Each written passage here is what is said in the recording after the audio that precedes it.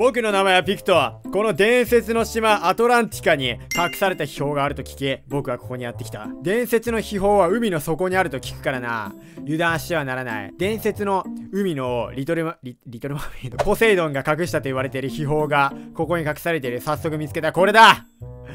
このあれあのあれがあればこのあれがあれば俺は海の王になれる。来た。このアーマドゥラ・デ・ペスカドヘルメット。これが伝説の秘宝か。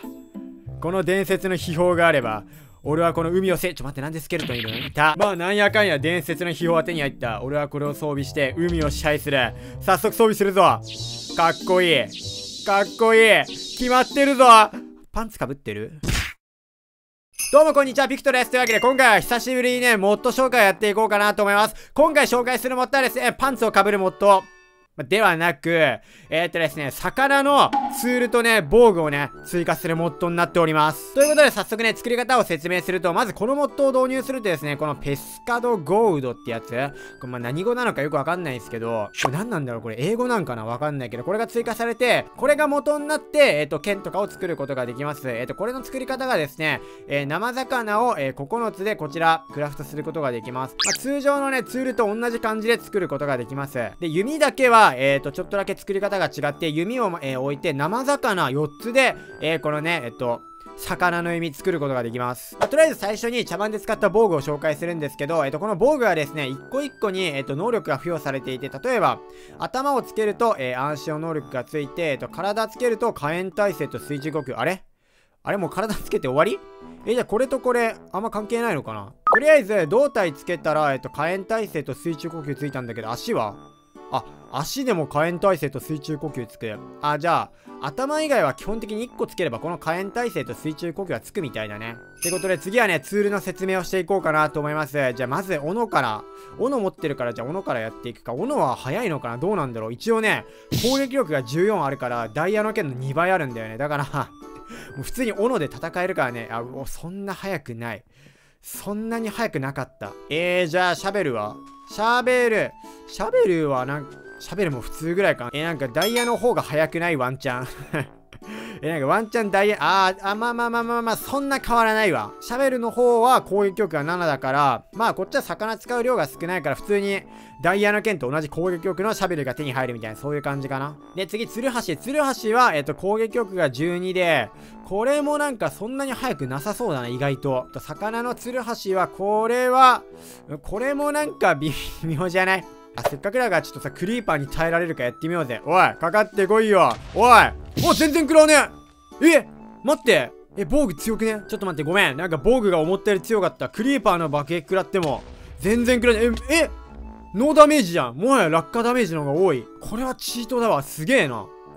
思っている防御力がチートだったわ。は は落下ダメージの方が痛いもん、これ。まあ、ということで、ツールの説明に戻るんですけど、えっ、ー、と、とりあえず、えっ、ー、と、ツール、シャベルと、えっ、ー、と、斧とツルハチに関しては、多分ダイヤの方がワンチャン早い。てか、早いわ、普通に。まあ、攻撃力が高い感じかな。じゃあ次、剣。剣はね、これすごいよ。攻撃力20あるんだよ。で、剣だけね、特殊能力を持っていて、これね、普通に攻撃するだけじゃなくて、ブロックに対して右クリックやると、こんな感じでね、水になるんですよ。しかもこれすごいのがさ、岩盤でもできるんだよ、これ。はい。こんな感じで。ブロックだったら何でもね、水に変えることができるんですよ。これすごいよね、なんか。いや、これこそなんか海の王が持つものふさわしいアーダコーダだよな、これは。まあ普通に攻撃力も強いし、なんかいざという時にこうやって水にできるから、えっ、ー、と、ブロックをね、すぐ破壊というか、なんだろう、ツーラーシ持ってなかったらこれでさ、こうやって登れるからね、便利。そして今気づいたんだけど、適当に右クリックやったら、ここ、空中でも水発生させることができる。これさ、こうやってやればさ、これ永遠に上登れね、これ。これすごいぞ、これ。え、めっちゃすごくね ずっと上登れるわ、これ。すげえわ。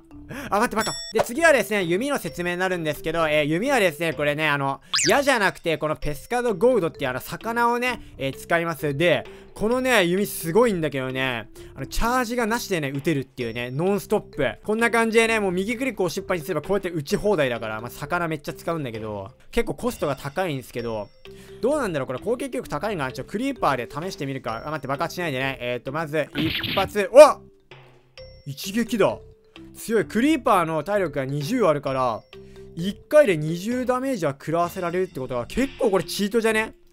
普通にこれチートだと思うんだけど、ドリャーってやればさ、全員倒せるからこれ。あ、チートだこれ。え、この元、剣と弓強くね？ツール結構ゴミなのに。で、次にツールだけじゃなくて、このモッドね、モブがね、2体だけ追加されます。このね、スポーンアングリーシャークってやつと、えー、スーパーメデューサってやつ。この2体が追加されます。早速見ていきましょう。まず、スポーンシャーク。シャークってことはサメが追加されるのかなこれ？はい。さ、ちっちゃ。思ったより可愛かったんだけど、これ。あ、海行っちゃう。ちょっと待って。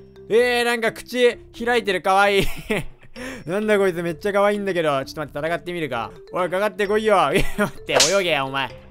泳げや、お前。いたいたなになになにえ、どっから？え？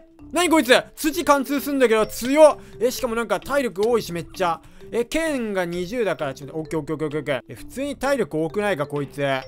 な、あ、60ぐらいかな。50か60ぐらいだな、体力は。じゃあ次、ちょっとメデューサ呼んでみるか。メデューサいけ来たーなんだこれえ？メデューサってあれだよね。なんか目があったら石化しちゃうみたいな。それのなんか海版みたいな。こいつガストじゃんっていうかがっつり。がっつりガストじゃん。えこれボスじゃんしかも。え？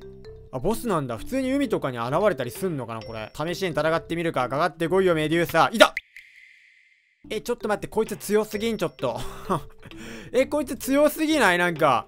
え、だってクリーパーの攻撃ですら、ノーダメージの防具をさ、一発で倒すってやばくない？しかも体力も無駄に多いし。まあでもこいつガストと違って、普通にね、飛んできたりはしないから、まあ、まあ気をつけながら戦えば多分倒せるんじゃないかな。どうなんだろう。オッケー。あーでもこいつ倒してもさ、え、この魚しか落とさないんだけど。え、こんな強いのにさ、なんか、装備とか落とさないんだ。魚しか落とさないっぽいな。シャークも魚しか落とさなかったから、もうただ強いやつだよね。うん。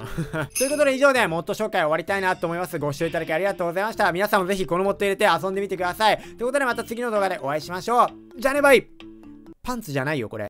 最後までご視聴いただきありがありがありがありがありがありがありが長いわ。チャンネル登録と高評価もよろしよろしよろしよろしよろし。帰れ。最後でシマジメニやテクタサイヤお前の存在が一番ふざけてるわ最後だしみんな揃えて私たちを誰だと思ってんのじゃあ行くよせーのじゃねばーい。それはなすぎて森入る